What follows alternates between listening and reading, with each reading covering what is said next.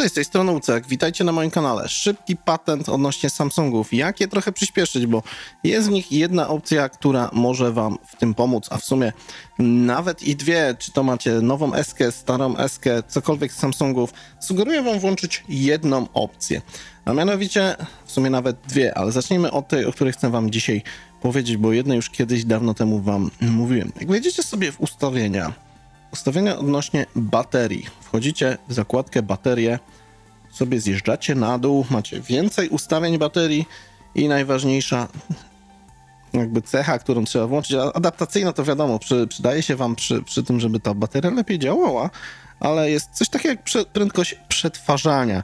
W nowszych wersjach macie zoptymalizowaną wysoką maksymalną, standardowo jest zoptymalizowana, jeżeli chcecie, żeby wasz telefon troszkę szybciej działał i to nawet powiem wam, że realnie to czuć, e, sugeruję wybrać którąkolwiek z wersji wyższych, czyli na przykład maksymalną. Ja na przykład speed testy wszystko standardowo nagrywałem, ale gdy użyjecie tej opcji, naprawdę smartfon pokaże, że jednak potrafi działać lepiej.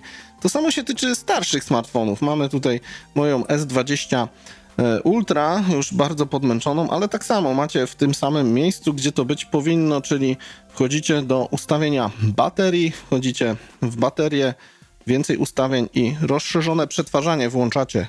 To będzie też nie, nie w najnowszych, tylko właśnie starszych modelach. I naprawdę zdziwicie się, że jednak smartfon wasz, który no po prostu troszkę gdzieś tam przymulał, nagle zaczyna działać, działać i to, i to naprawdę fajnie. No inna opcja to w opcjach programisty, ale to już kiedyś wam nagrywałem, też przypomnę w razie czego. Sugeruję, jeżeli sobie nie wiecie jak je włączyć, musicie wejść w informacje o telefonie. Zresztą odsyłam do filmu. Jest, jest jeden film, jak włączyć tryb programisty u mnie na kanale, czyli jak przyspieszyć każdego smartfona. Tam sobie zobaczycie. Ale właśnie ważną kwestią jest to, żeby właśnie w opcjach programisty włączyć Coś takiego, gdzie to jest?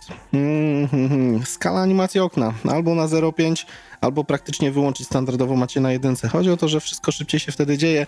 Na tym smartfonie działa wam on szybciej, więc no jest to plusik. Jeszcze zobaczmy, jak to wygląda przy okazji na zwykłej S22. Też macie te same możliwości ustawienia, gdzie to mamy yy, zabezpieczenia to nie, blokady nie, yy, ustawienia baterii i urządzenia, wchodzimy w baterię, zaawansowane ustawienia i przetwarzanie na maksymalne i naprawdę może troszeczkę wam telefon więcej baterii zjeść, ale jak wam muli i chcecie, żeby było szybciej, to myślę, że z tej opcji warto skorzystać.